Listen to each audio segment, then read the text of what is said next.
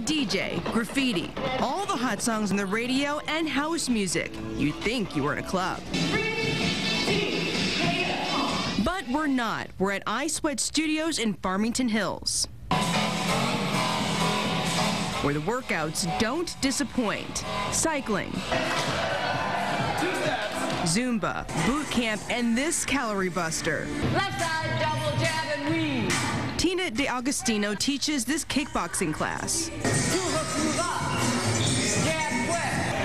You burn a lot of calories, great music, very upbeat. With quick punches, swift steps, fast combinations, and fun music, this class is intense to say the least. We can get really kind of crazy with it and enjoy it and not have to worry about if we're acting inappropriate because we're in public, because we're in the gym and we're enjoying ourselves and it's okay. And they love that. I think that women like it because it they feel like they can work out together. Sometimes it's intimidating going into a gym with all these big buff guys, but um, all the women together, they feel like they can get a good workout and not feel embarrassed about it.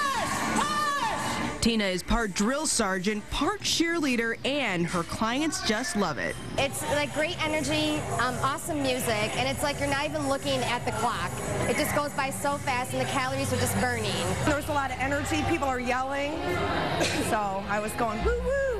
Someone who might be a little older in their years can say, I haven't acted that way since I was 18. Keep it strong, keep it strong. That's me in the far right corner, and let me tell you, I don't think there is a muscle that was not used. I think after a week, I might be ready to jump in the ring. Most of them are real true moves. So, um, you know, maybe if Thomas Hearns came through, he might enjoy the class. And if you're brave enough to try this class, it's every Saturday at 11.30 a.m.